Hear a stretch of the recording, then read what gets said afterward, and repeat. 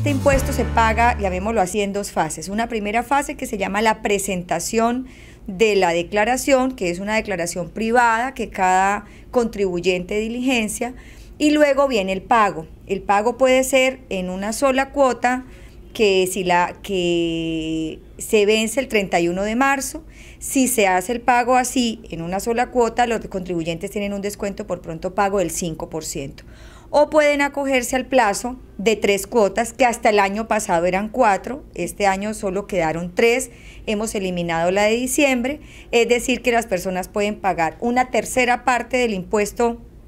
el 31 de marzo, otra tercera parte del impuesto hasta el 30 de junio y otra tercera parte del impuesto hasta el 30 de septiembre.